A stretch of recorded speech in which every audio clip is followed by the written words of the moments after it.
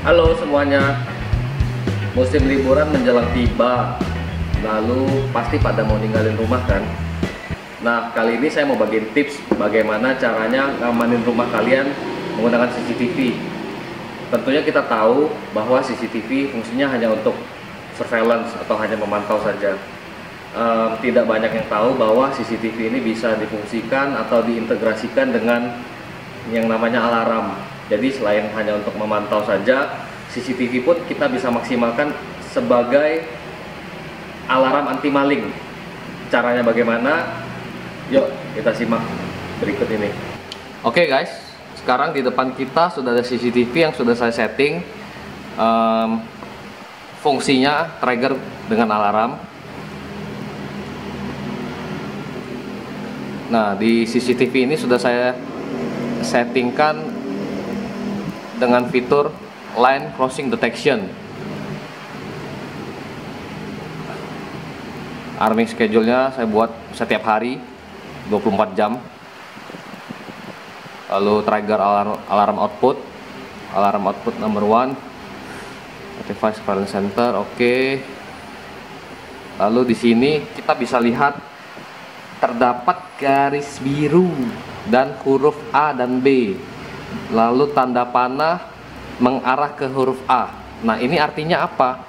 Ini artinya adalah apabila ada suatu objek yang melewati garis ini tetapi dari luar ke dalam. Dari luar ke dalam ya. Maka alarm akan berbunyi. Gitu.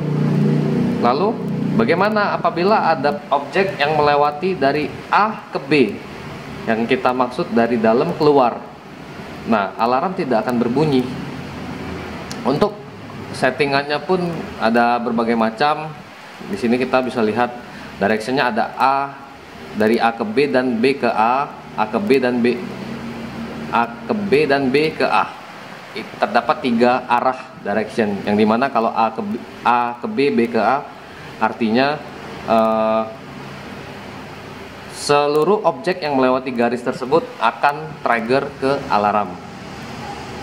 A ke B ya kebalikan dari yang tadi. B ke A yang tadi contohnya, oke. Okay. Yuk kita coba yuk. Apply, eh sorry, kita harus setting sensitivity-nya perlu diingat ya sensitivity ini sangat penting sekali karena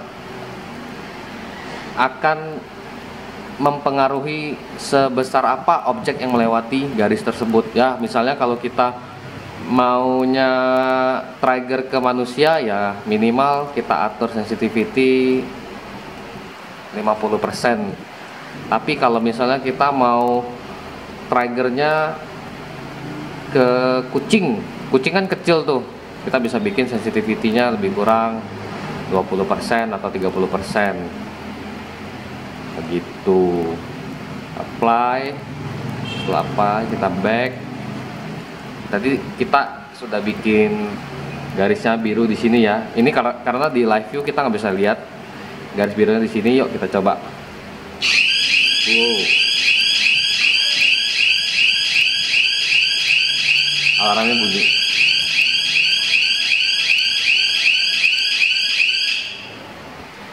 nah alarmnya pun kita bisa atur.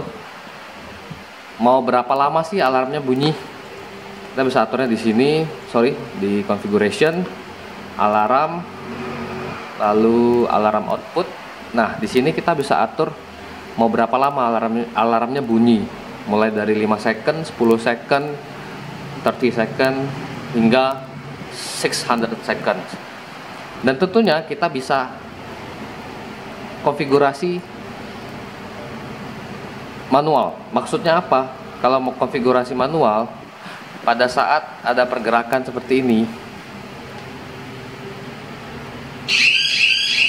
kita harus refresh manual alarmnya. Ini lalu kita tidak alarm lalu clear.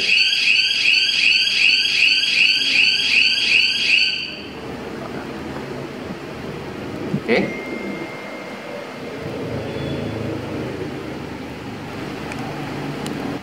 Nah, setelah tadi kita bisa fungsikan ini uh, trigger ke alarm seperti tadi. Kita juga bisa mendapatkan notifikasi melalui handphone.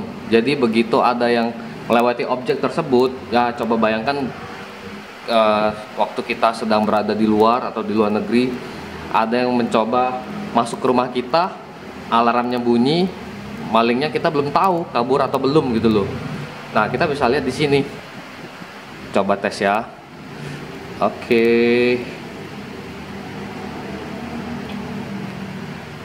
Saya off kan dulu. Saya coba trigger alarmnya sekarang.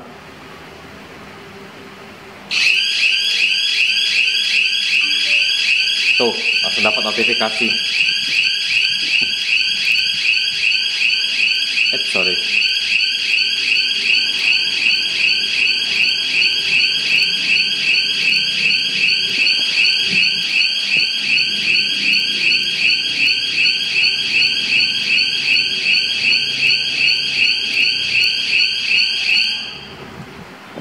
Ya notifikasi seperti ini.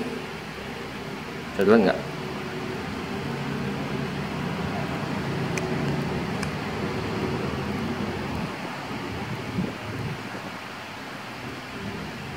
Ini notifikasinya.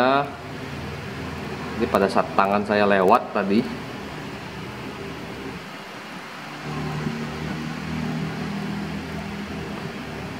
Dan kalian pun juga bisa langsung lihat hasil rekamannya pada saat trigger alarm tersebut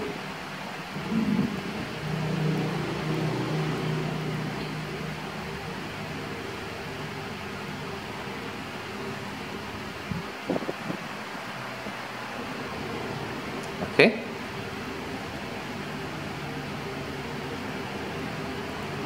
Lalu fitur apa lagi? Tentunya masih banyak fitur-fitur lain seperti oh iya um, pada saat kita lagi melihat CCTV ini secara online dan kebetulan ada objek yang mendekati garis tersebut tapi belum melewati garis tersebut kita bisa secara manual menyalakan alarm tersebut. Caranya gimana? Cara seperti ini.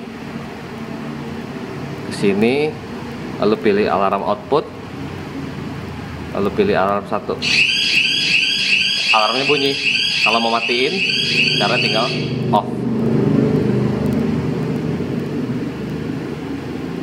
Oke. Okay. so jadi buat yang mau liburan sudah bisa tenang aja nggak usah panik lagi tinggalin rumah. Tinggal pasang CCTV ini. Buat yang tertarik buat yang mau CCTV ini bisa langsung cek ke link website di bawah ini. Oke? okay? Semoga membantu dan semoga oke okay, selamat liburan panjang. Bye.